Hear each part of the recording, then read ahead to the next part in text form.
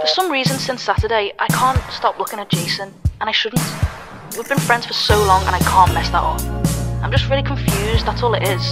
And he's a really good friend. And I'm just getting confused into thinking it's a crush. I have a crush on Jason. Shut!